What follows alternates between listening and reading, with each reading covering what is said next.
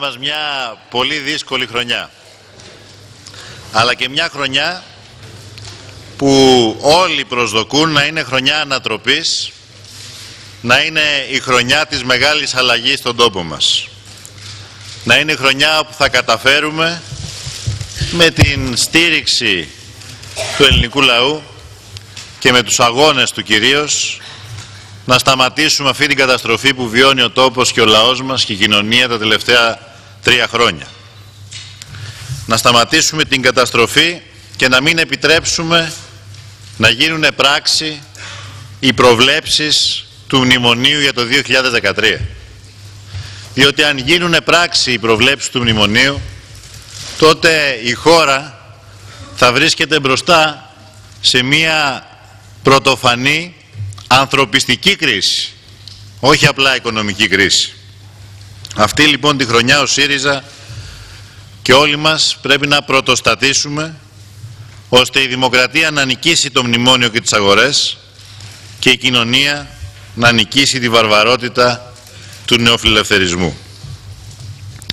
Συντρόφισσες και σύντροφοι, τους επόμενους τρεις μήνες έρχεται μία νέα δέσμη μέτρων που δεν πρόκειται να αφήσει τίποτα όρθιο. Η παραπέουσα τρόικα εσωτερικού ετοιμάζεται για νέα επώδυνα μέτρα για την κατάργηση των συλλογικών διαπραγματεύσεων, για τη διευκόλυνση των απολύσεων, τη μείωση των αποζημιώσεων, την πλήρη ευελιξία στην εργασία, δηλαδή την πλήρη ασυδοσία της εργοδοσίας, για νέες δραματικές μειώσεις στους μισθούς, μέσω της κατάργησης επιδομάτων και μέσα από το πάγωμα των τριετιών. Και βέβαια με απολύσεις στο δημόσιο τομέα. Αυτό το πλέγμα μέτρων που σας περιέγραψα, που περιλαμβάνει από τη μείωση του ελάχιστου χρόνου ημερήσιας ανάπαυσης μέχρι τη διάλυση κάθε εργασιακού δικαιώματος, αν υλοποιηθεί, θα μας πάει έναν αιώνα πίσω. Δεν έχουμε αυταπάτες ότι οι συνέτεροι του μνημονίου και της κυβέρνησης θα διστάσουν. Άλλωστε έχουν αποδείξει ότι δεν λογαριάζουν τίποτα. Δεν σέβονται απολύτως τίποτα. Έξι μήνες τώρα κυβερνούν με πράξεις νομοθετικού περιεχομένου και με προεδρικά διατάγματα. Κρύβονται από την Βουλή και την απαξιώνουν. Κρύβονται από την κοινωνία και την ισοπεδώνουν. Αλλά παρόλα αυτά συνεχίζουν ακόμα και σήμερα να μας κουνάνε το δάχτυλο. Και οι κυβερνητικοί εταίροι και τα θλιβερά τους προπαγανδιστικά μέσα. Μας κουνούν το δάχτυλο με περίσσιο θράσος ακόμα και όταν έχουν συλληφθεί επαυτοφόρο. Δεν έχουν καταλάβει όμως σε ποια εποχή βρισκόμαστε. Μετά από δυόμιση-τρία σχεδόν χρόνια καταστροφής, μετά από τρία χρόνια ισοπαίδωσης της κοινωνίας και τρία χρόνια με τοπικής τους σύγκρουσης με κάθε κοινωνική κατηγορία, ο βασιλιάς πλέον είναι γυμνός. Οι πολίτες πια και καταλαβαίνουν και κρίνουν. Και το τρίγωνο της αμαρτίας στο περιβόητο δεν είναι πια παντοδύναμο. Ξεψυχισμένα βρυχάται και απειλεί. Αλλά κανείς πια δεν το παίρνει στα σοβαρά.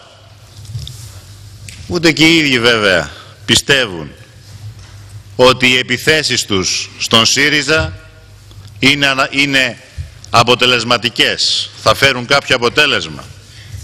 Ξέρουν ότι εμείς δεν πρόκειται να φοβηθούμε. Άλλωστε εμείς δεν φοβηθήκαμε σε καιρούς πολιτικά πιο δύσκολους για μας. Δεν κάναμε πίσω ούτε βήμα στη μάχη ενάντια στη διαπλοκή και στο πολιτικό σύστημα της διαφθοράς και της χειροκοπίας όταν αυτό ήταν παντοδύναμο και εμείς ήμασταν στο όριο του 3% να μπούμε ή να μην μπούμε στη Βουλή. Δεν κάναμε πίσω τότε. Θα κάνουμε πίσω τώρα.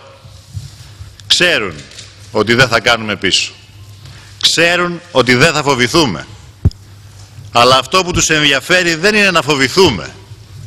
Αυτό που τους ενδιαφέρει είναι να συμβιβαστούμε. Να συμπεριφερθούμε και εμείς σαν όλα τα καθώς πρέπει κόμματα εξουσίας που όταν έρχεται η ώρα, όταν έρχεται η σειρά τους αναζητούν προστάτη στο σύστημα της διαπλοκής. Είναι γελασμένοι. Είναι γελασμένοι αν νομίζουν ότι ο ΣΥΡΙΖΑ θα είναι σαν τους άλλους. Ότι ο ΣΥΡΙΖΑ θα είναι μία από τα ίδια. Ο ΣΥΡΙΖΑ δεν συμβιβάζεται, δεν συγκαλύπτει και κυρίως δεν εγκαταλείπει τους πολίτες για να αγκαλιάσει το σύστημα της διαπλοκής και τους χρεοκοπημένους πολιτικούς μηχανισμούς του. Δεν εγκαταλείπει την κοινωνία για να αγκαλιάσει χρεοκοπημένους εργολάβους της προπαγάνδας υπέρ του μνημονίου. Γιατί η δική μας δύναμη είναι ακριβώς αυτή. Ότι δεν είμαστε και δεν θα γίνουμε σαν τους άλλους. Γι' αυτό και δεν ανησυχούμε όσο μας πολεμούν. Ανησυχούμε όταν μας καλοπιάνουν. Και ο κόσμος δεν ανησυχεί όταν μας πολεμούν. Ο κόσμος